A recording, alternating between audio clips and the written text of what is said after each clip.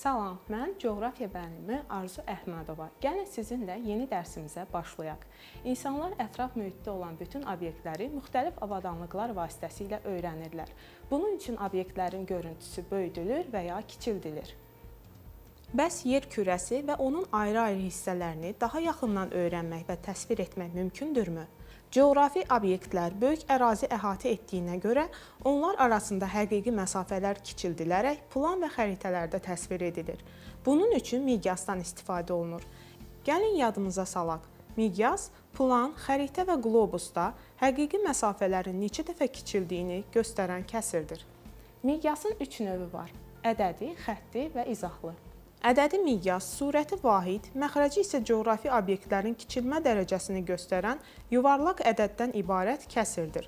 Məsələn, 1 bölünsün 500, 1 bölünsün 5000 ədədi miqyaslarında məntəqələr uyğun olaraq 500 və 5000 dəfə kiçildilib.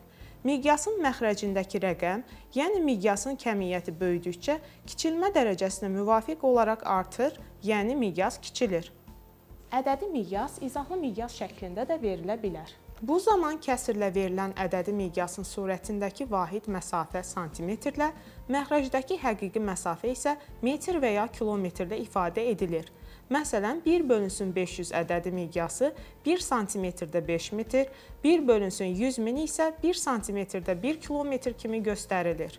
Ədədi və izahlı miqyas qrafik şəkildə də təsvir oluna bilər. Bu xətti miqyas adlanır. Xətti miqyasa əsasən planda və xəritədə məsafələri pərgarla ölçüb həqiqi məsafəni təyin etmək olar.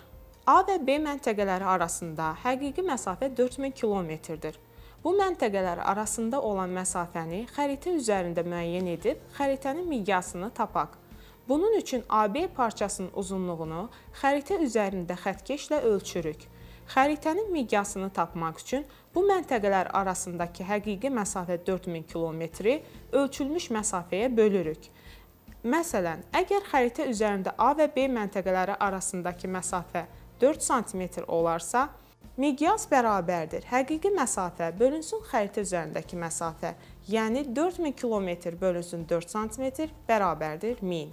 İzahlı miqyas 1 sm-də 1000 km, ədədi miqyas isə 1 bölünsün 100 milyon olaraq göstəriləcək. İndi isə öyrəndiklərimizi yoxlamaq üçün cədvəli tamamlayın.